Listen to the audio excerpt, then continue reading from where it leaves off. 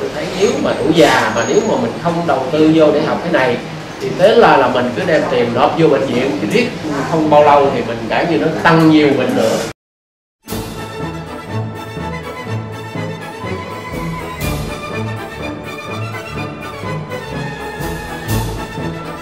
Cũng nhìn liền qua đây không được đâu cũng nhìn liền qua là nó bức à.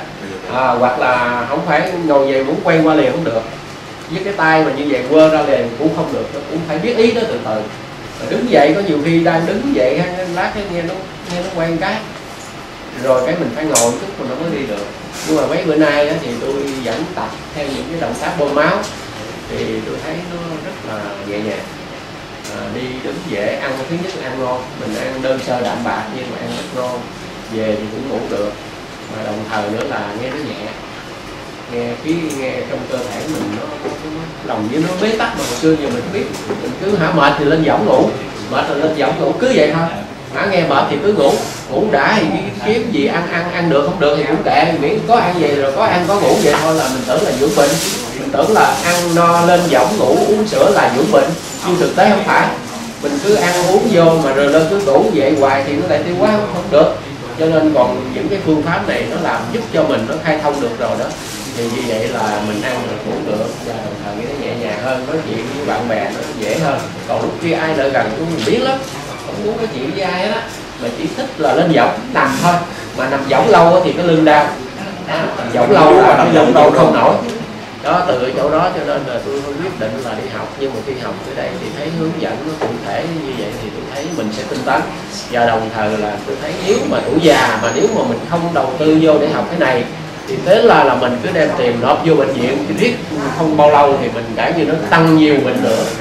Như vậy đó còn nếu trường hợp biết phương pháp này thì cả ngay đây là mình đã chặn đứng rồi.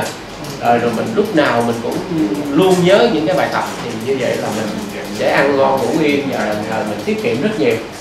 Đó, mình không cần thu nhập nhiều nhưng mà vẫn không không không không hao tốn. Còn bây giờ mình có thu nhập bao nhiêu cũng không đủ. Thậm chí mình rút hết các con đem về nữa cũng không đủ luôn đó thì tôi thấy cái cái học này nó rất là hay.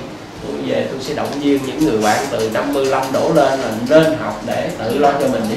Chứ nếu mình không nên tự lo cho mình thì con cháu có làm bao nhiêu nộp vô mình thì mình đi nộp hết cho bệnh viện còn mình thì ăn không được ngủ không được. Đó. bây giờ chú học xong chú về truyền mấy người bạn. Dạ trước nhất là trong gia đình của mình ví dụ như vợ con này cháu chắc là ông bà của mình cha mẹ của mình đó là mình phải cứu trước.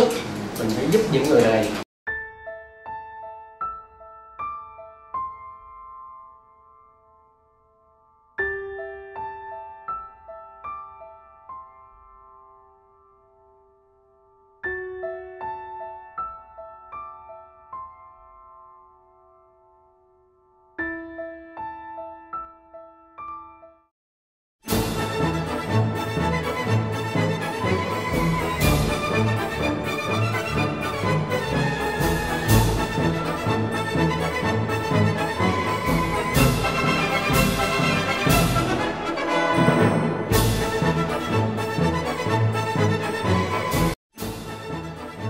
Viện Nghiên cứu và ứng dụng bấm huyệt thập trì liên tâm.